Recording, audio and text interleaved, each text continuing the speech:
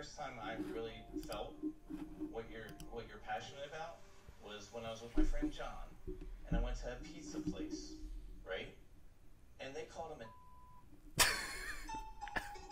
And you, You don't in this understand moment, friendship? you don't understand what I'm saying to you that the word should not come out your white ass mouth. They called him that.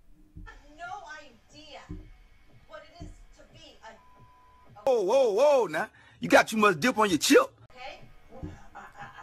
Do not ever say that. You don't say that either. Cause you not king.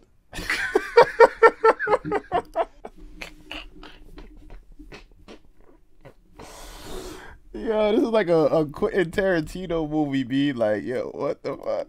Yeah, run that back.